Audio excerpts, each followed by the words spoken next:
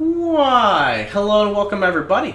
It is Pohx again. So today I want to go ahead and show you guys my methods uh, of legendary farming in Grim Dawn.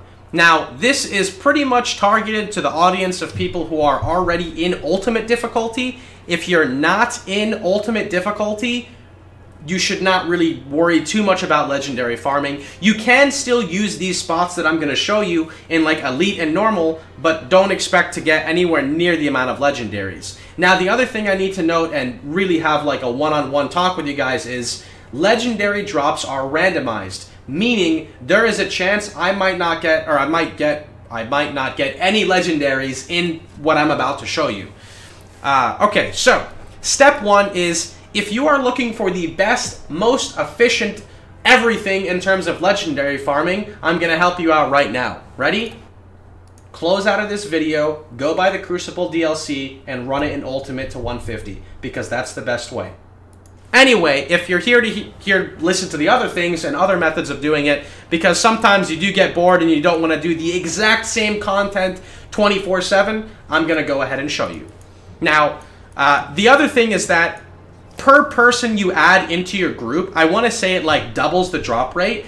So the best way to farm legendaries from what I've noticed is do it with a friend or two because that way you can share the legendaries. You know, if he's playing a gunslinger and you're playing a, I don't know, a, a fucking whatever you're playing and something drops, if it's good for you, he can give it to you. Vice versa, you can just trade with each other. So, what our goal is, is we are looking for areas with high density of hero monsters and boss monsters, because that's pretty much what drops legendaries.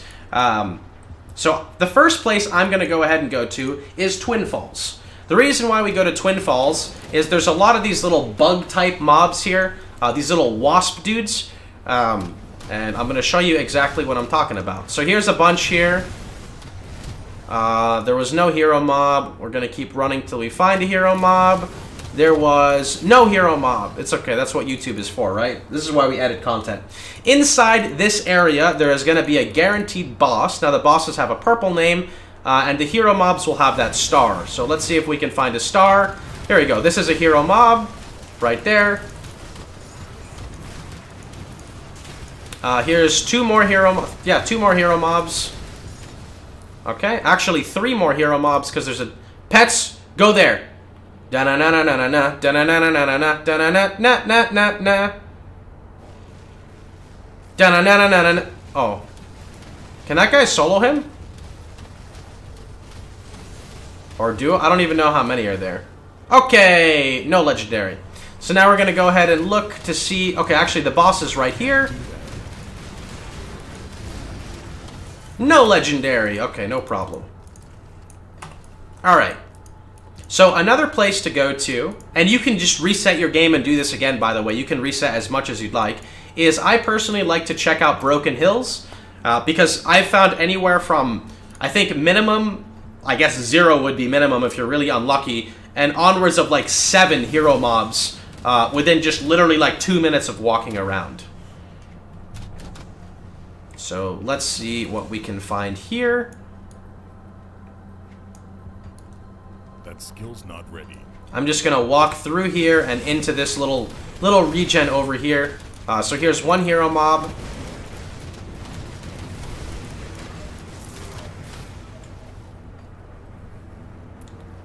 And what else do we have? Can we find the boars?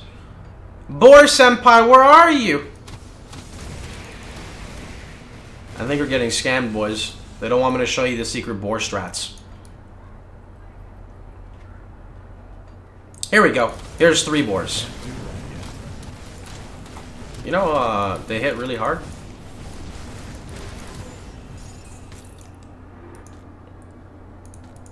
Oh, Watcher Crest? What was that?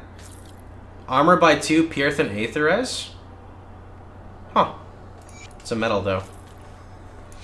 Okay, now another thing that you can actually go ahead and do is you can actually do all the act bosses again. So you could go to Warden, who would be located over in here, but I, I've actually never found one off of him. So what I personally like doing instead is I like going to the Rotting Croplands and I like fighting the Queen Scarab, whatever her name is again. And she's going to be located in, like, one of the sections over here.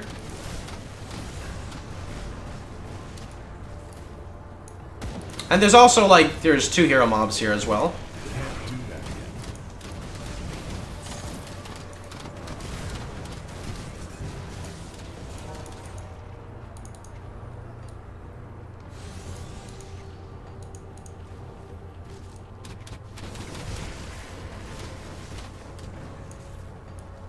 Now, one other thing to talk about is there is a better method than what I'm doing right now as well. Here we go, here's the hive.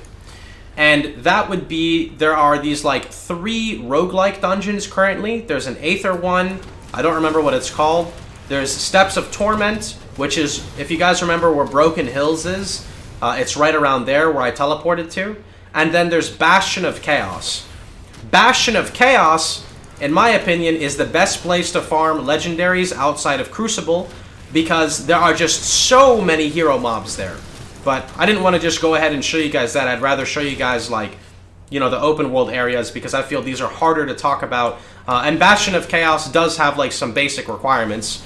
Uh, whereas doing this, this is pretty easy. These are just basic hero mobs.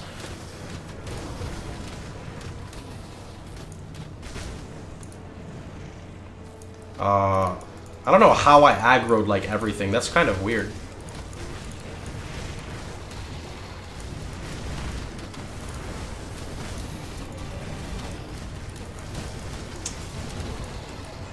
Uh, they call them roguelikes. I don't really actually believe in their term of roguelike, but they just say roguelike because if you die, you cannot go back in. You have to basically like restart the game again, and you do have to pay a skeleton key for it, which is really not that expensive to craft.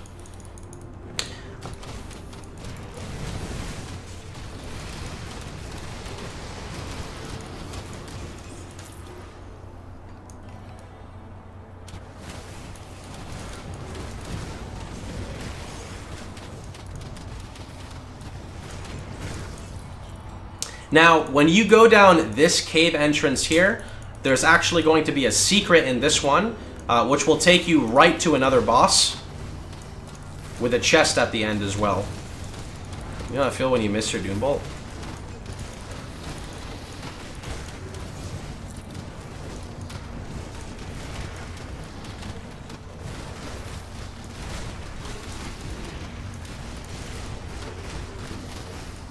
And that's going to be here, so we're just going to walk around.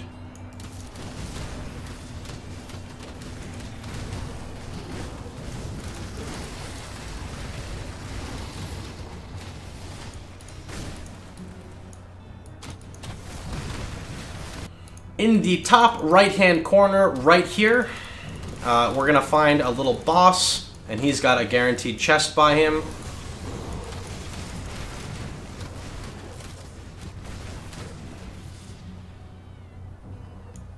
Actually, there's two. There's gonna be this guy, and there should be a purple guy here. I don't know where the purple dude is. There he is. And then we got a Supreme chest. As you can see, we found quite a few legendaries already, said no one ever.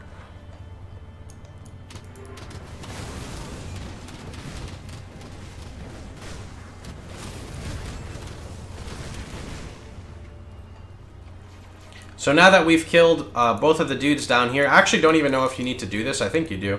Uh, we can go fight the actual boss, which is, I think it's the Act 3 boss. Who is going to be located right over here.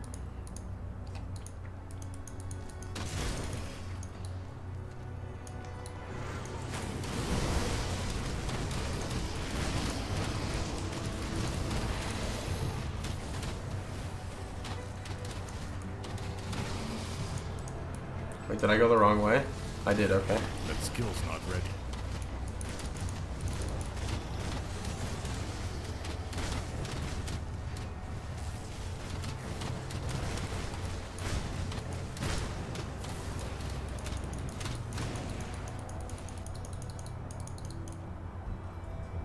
Alright, Hive Queen. Don't fail me now! I got a YouTube video.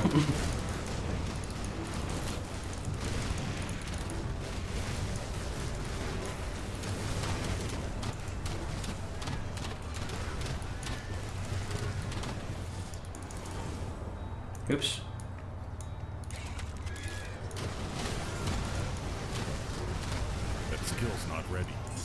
Uh, we got three epics, actually. That's pretty uncommon to find three. Why did my Doom Bolt just go off? Confirmed using macros gonna get banned? And then there's two chests on the side here. Okay, uh, so since that failed, what I'd also recommend, I'm not going to do this one, but you can go to Tomb of Watchers here. Actually, I'm not going to run it, but I'll show you where to go. And doing the last boss is actually pretty nice for legendaries as well. Just going through the Tomb of the Watcher, um, you can totally find, there's like the Guardian, which is a boss, then there's another Guardian in the second floor, and then there's the actual boss, and then he has two chests. Uh, and then there's a bunch of hero mobs in between. Now, for Bastion of Chaos that I was talking about, you literally will just run like this, and boom, that's Bastion of Chaos right there. Uh, Steps of Torment, to show you guys where Steps of Torment is, uh, you will go to Broken Hills, and you would run south. Steps of Torment, I believe, is right. Is it? Hold on. You go here, you loop around, you go down, I think it's right here. Apolog apologies if I'm incorrect. It's it should be like around here. Um, and then there is also another one, which is the new one at let's see. It's in the conflagration up here.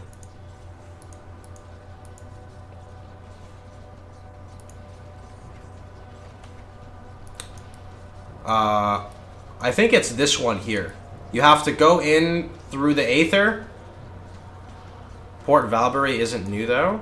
Oh, I thought it was a new one. I thought they said this is a new dungeon. You go in here and you boom this, and you can go in it right there. Uh, what I'm going to go ahead and do is another method that I ran, which is going to Smuggler's Pass, because there is a guaranteed dude in here as well.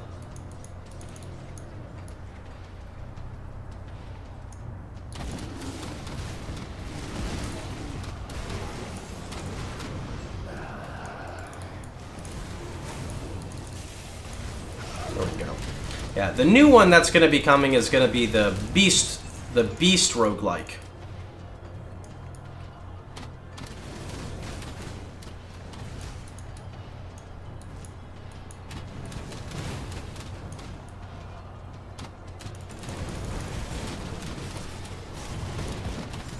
There is going to be a troll boss right in here.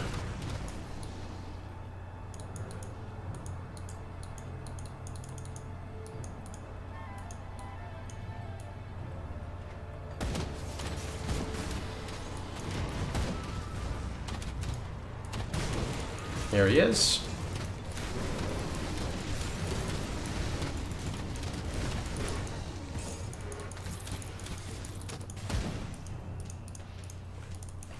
Okay, I think that's majority of the places that I go to. Uh, like I said, I do also usually, uh, I would run Bastion of Chaos, uh, and then I would do the bosses like Tomb of the Watchers, uh, Warden, um, but that's, I guess, all that I can really... oh, actually, Asterkarn Valley is not bad either. Um, this one's more RNG as well, but sometimes you can get like a bunch of these like Yeti dudes to charge you. Let me see. Oh, Kronley's hideout, actually. I can show Kronley's hideout. Let's see. Are any of them over here? There should be a boss, actually. Isn't there a boss Yeti here? Guaranteed. Here we go. Yeah, Rage Blood.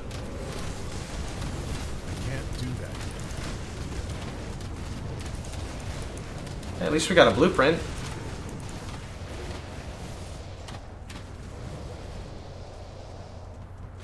Hmm. That's a component. That's a pretty sick component. Alright. And then...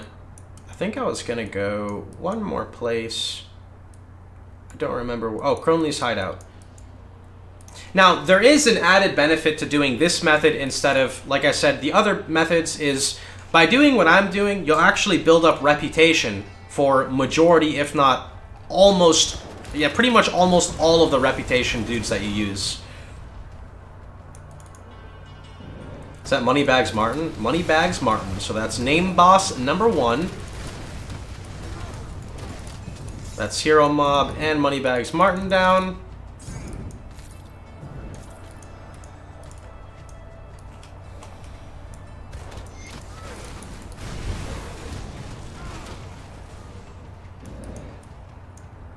Uh, there's another method where you can use, um, you can go to places with treasure troves in them.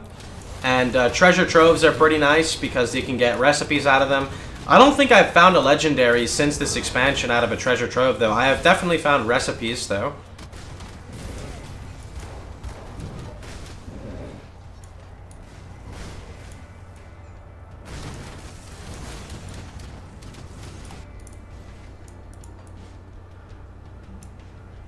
Here's another boss. Although I don't know, have I gotten a legendary off this guy? I think, have I? I guess he can drop it though, if he has a loot table like that. Uh, sometimes you can find a, uh, what is it? A hero wasp up here. There's some wasp dudes.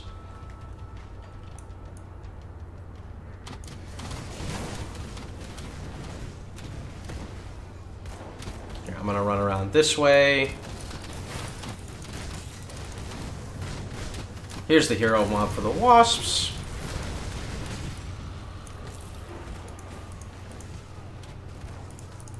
What is that? What did I even just pick up? I'll look at it later. Looked pretty okay, whatever it was. I saw pet bonus on it.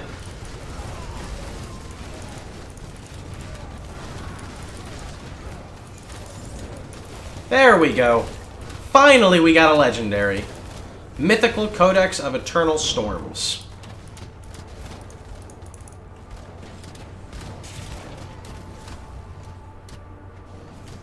I would say that's pretty unlucky. I want to say usually I would have found maybe two by now, uh, based off of the amount of guys I've killed. Uh, of course, it is RNG how it is. And this is going to be Darius Who's actually an asshole, by the way. Does he have a shield on? Alright, let me get away. Let me get away. And let's re-engage on Mr. Darius. And he actually, I don't know what he just did, but he just shit on all my minions. Lol.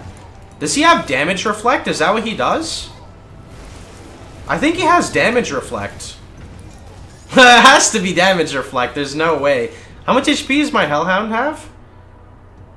My Hellhound has 43k HP. And it, like, almost died. Mythical frame. Uh,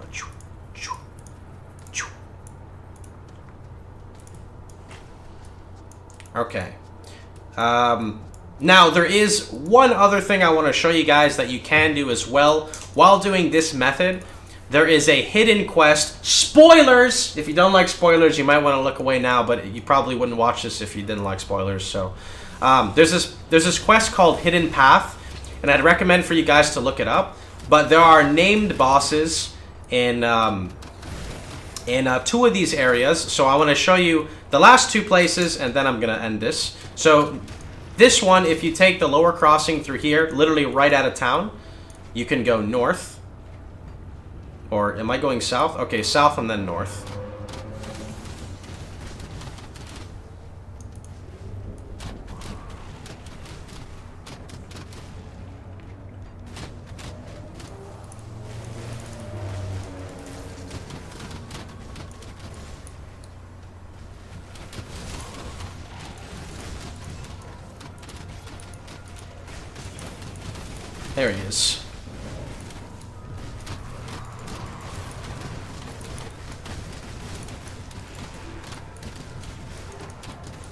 Down he goes.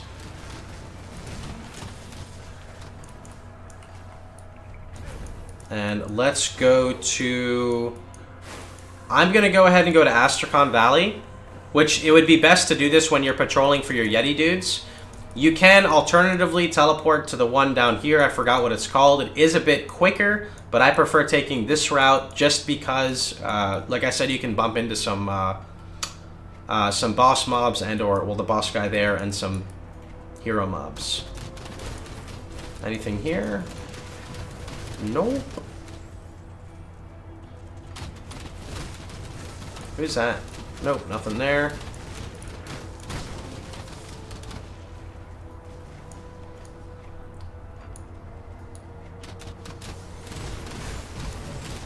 Uh, I think we want to go this way.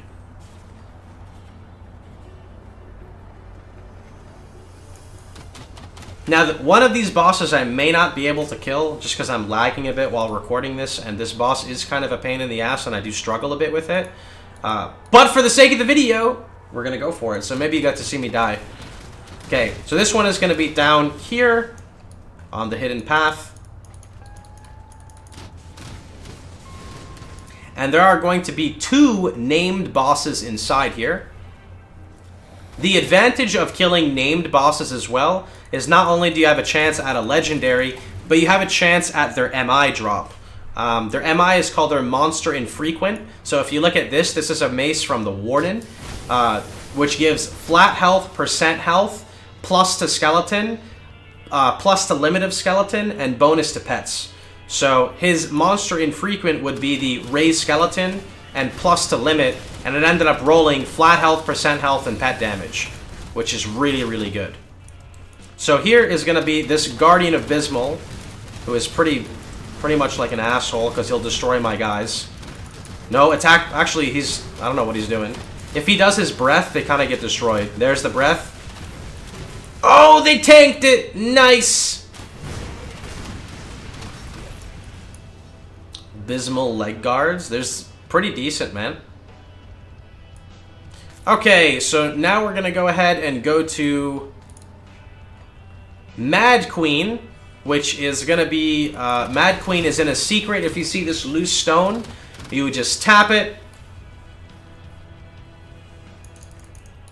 Alright, this one's gonna be this one's gonna be a little awkward. I don't fully know her mechanics, but she is an Uber boss, or I don't know what she's considered. She's just really triggered. So we're gonna do our best. Expect a lot of minions to die. Alright, we're gonna pull him back and wait. Because I think she has her, her reflect is on right now. It's that red thing. And reflect is still on. Reflect is off. Go, boys! Okay, we're gonna wait. I think a reflect is turning on.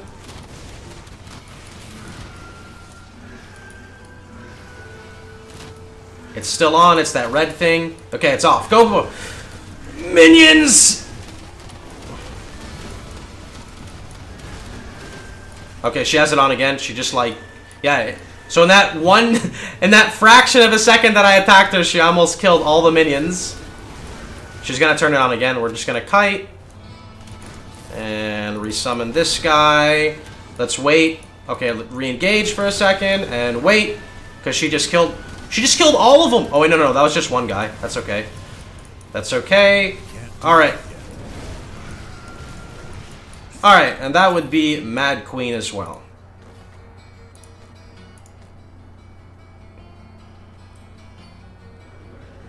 Now, the alternative, because I did not, there was one thing I did not get to show in this video, um, because that's, it's more for like endgame, kind of like this too, is there are Nemesis bosses that you can find, and Nemesis bosses have a very high chance of dropping legendaries, maybe like 60% chance. But to, to basically kill Nemesis mobs, you do have to have uh, Nemesis in the reputation or else they will not spawn. So before even doing like the Nemesis farming, you would have to get the reputation farming, which is why I didn't want to make it about the Nemesis mobs. But by doing the methods that I've showed you guys, you can in fact get Nemesis uh, with a lot of these. An added bonus to doing Steps of Torment and, uh, for example, the Ethereal area and the Bastion of Chaos is that the Nemesis monsters of that associated area have a chance of spawning inside there, so you can kind of like double your ratios up and get even more reward. But that's pretty much going to be about it. I hope you guys had a wonderful time. Hopefully this helps you guys out, uh, especially the newer players to Grim Dawn. if you liked the video, please feel free to like, share, and subscribe. And remember, you can catch me streaming live every day at twitch.tv slash Pohx.